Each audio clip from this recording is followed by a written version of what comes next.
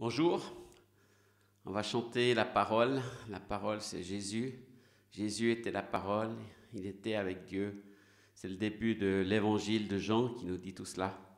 Alors on chante ces paroles et puis on se laisse euh, imprégner de cette présence de Jésus qui vient nous habiter, qui vient nous rencontrer et qu'on va aussi rencontrer.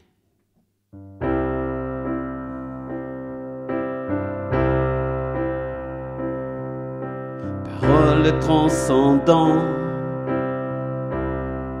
au commencement présent.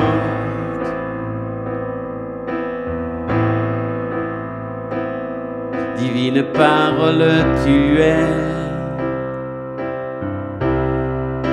de toute éternité.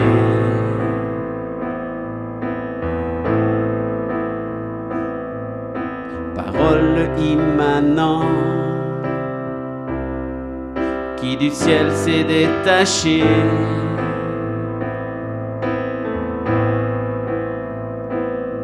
Divine parole incarnée de grâce et vérité.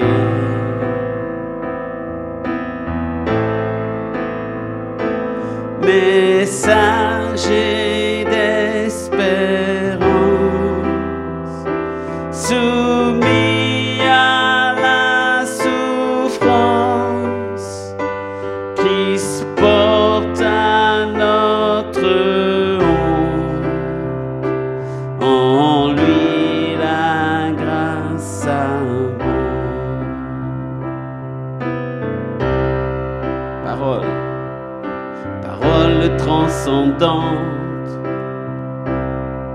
au commencement présente.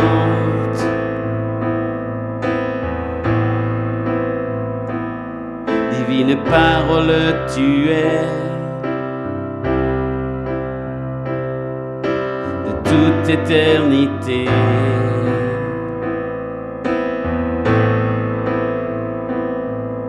Parole immanente du ciel s'est détachée.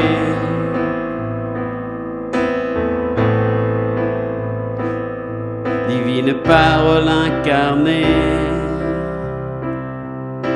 de grâce et vérité.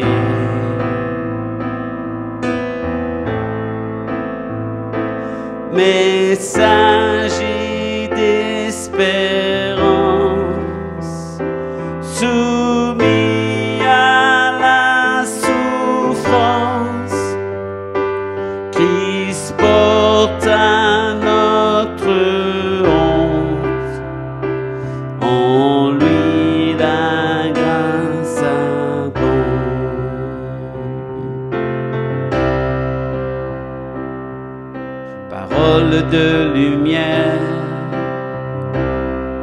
qui fut envoyée du Père.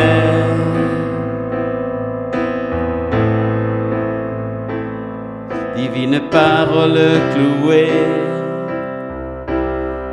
pour nous tu t'es humilié. Messager, messager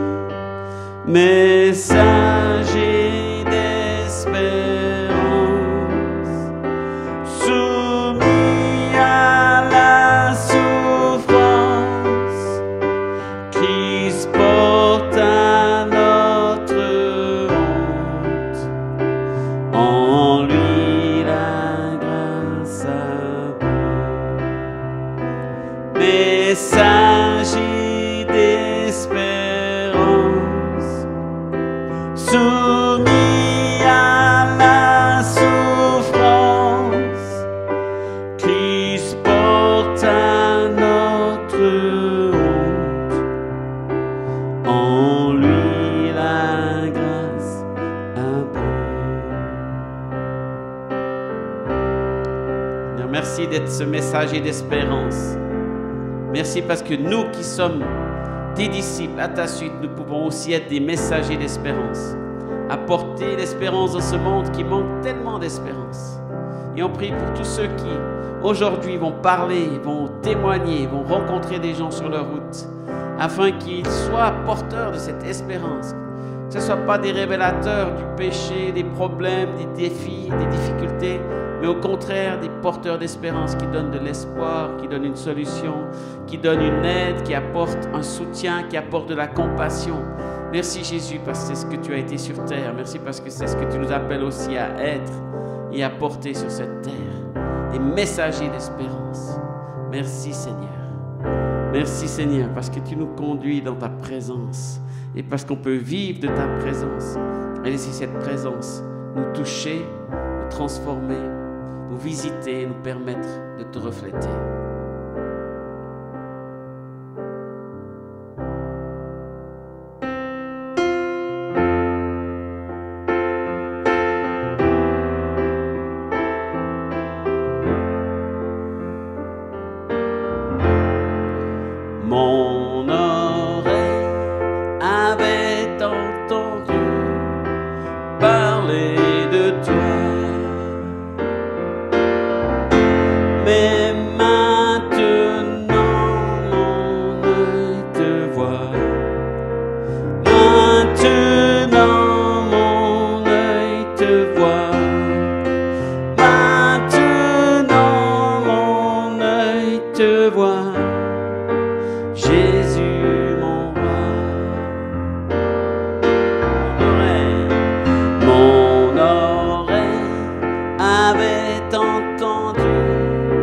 parler de toi.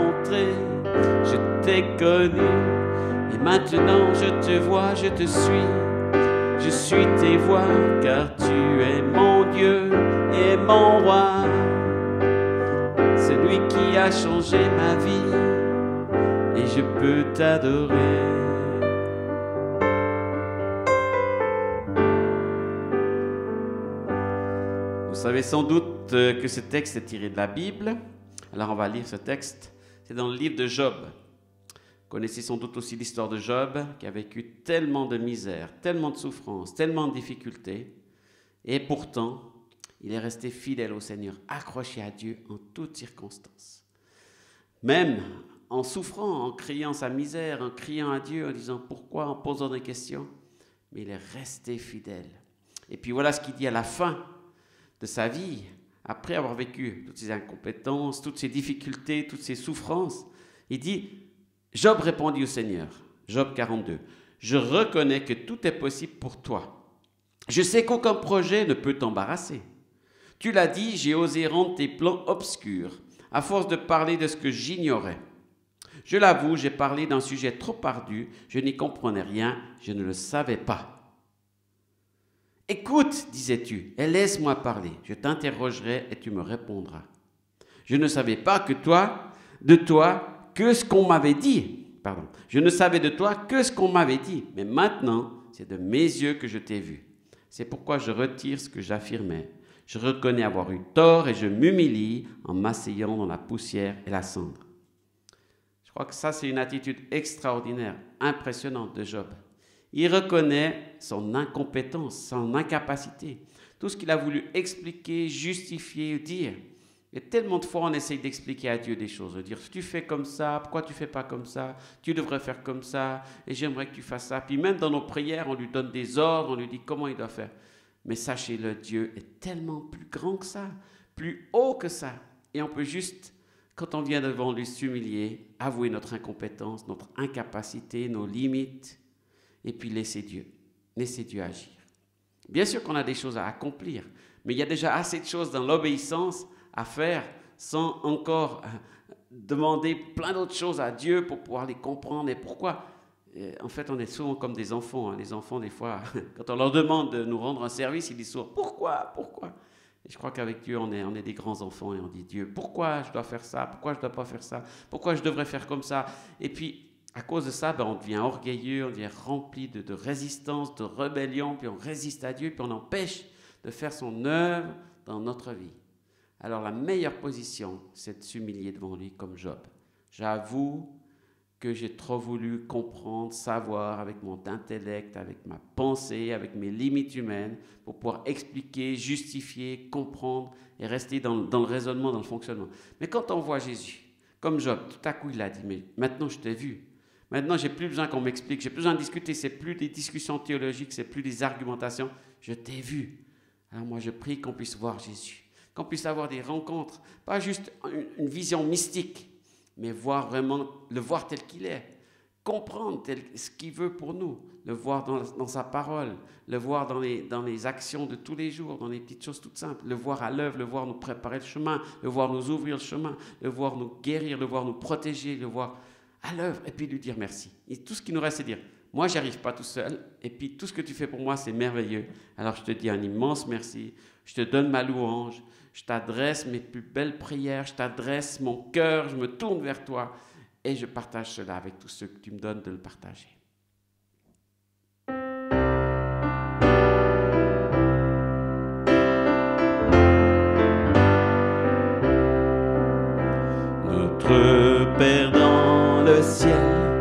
Que ton nom soit sanctifié, que ton royaume vienne nous voulons faire ta volonté. Donne-nous aujourd'hui le pain dont nous avons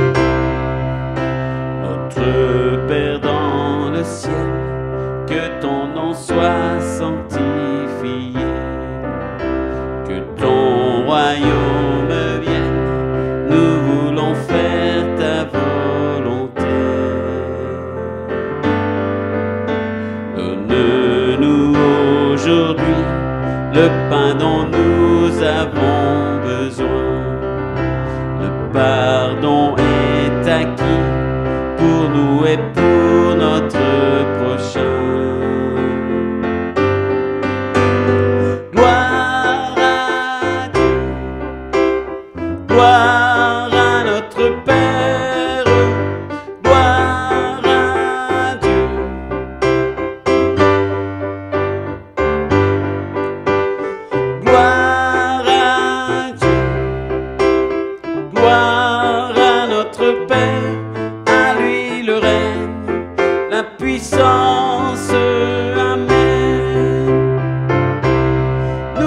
Nous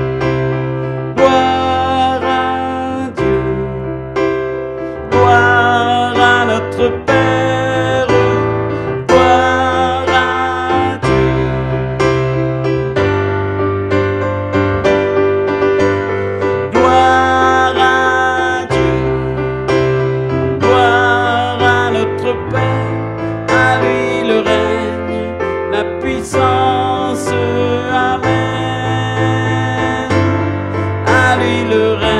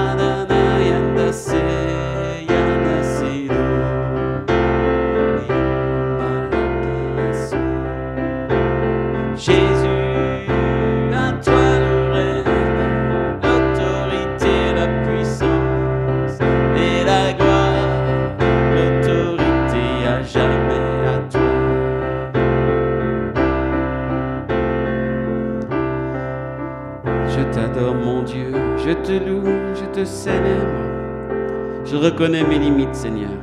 Pardon pour tellement d'orgueil. Pardon pour tellement de tentatives de vouloir te dire ce que tu dois faire, comment tu dois le faire, de vouloir te justifier, de vouloir te me justifier, de vouloir t'expliquer des choses, Seigneur. C'est toi qui as le dernier mot, c'est toi qui as l'autorité. Et je sais que tu as le meilleur pour moi, pour ma vie, et pour celle de ce monde aussi, pour celle de ma nation, de mon pays.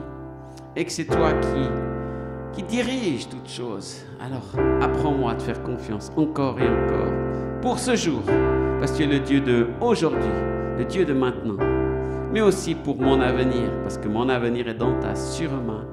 Et je sais que tu en prends soin. Et tu es mon espérance, le Dieu de l'espérance, le Dieu qui nous donne encore de l'espérance.